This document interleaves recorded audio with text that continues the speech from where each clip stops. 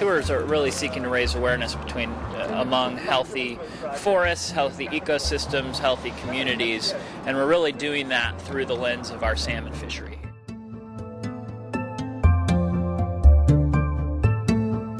In many ways, it's a big interpretive project in that what we're doing is we're taking you know two dozen different sites in Sitka and stringing them together through a walking tour that's narrated generally by me.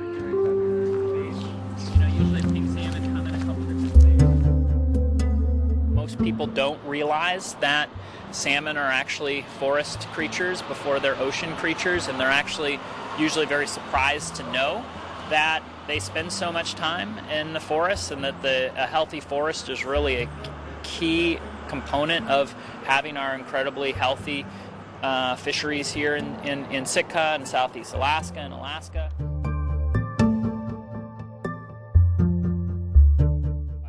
Interested in the way that ecosystems interact with culture to create food for people. So this is one of my favorite boats in, in our fleet here. This is the Sultan. This boat's about 85 years old. These are the three lines that are going to be used to fish. And what these th- and what Sarah will do when she's out fishing is she'll put these two fishing poles out.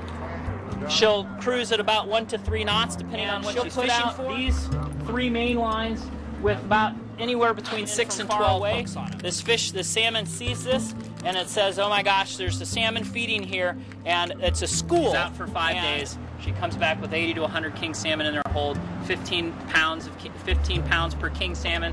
Five dollars a pound for king salmon. The processor will cut her check for eight thousand dollars for five days of fishing. That's how it's done.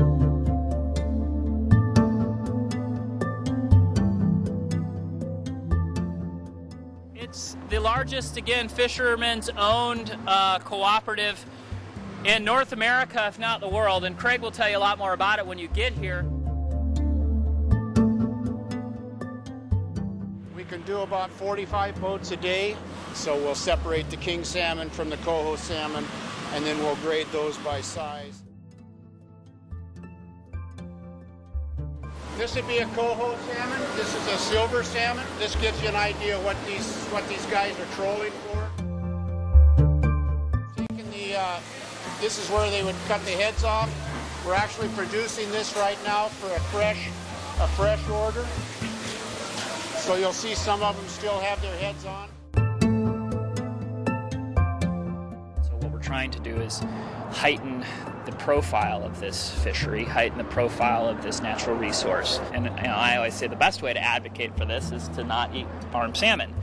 Uh, make sure to purchase wild salmon. You know, whatever you can do to support uh, you know our, our environment here. This is this is probably one of the easiest way, right? Is to you know you know vote with your fork.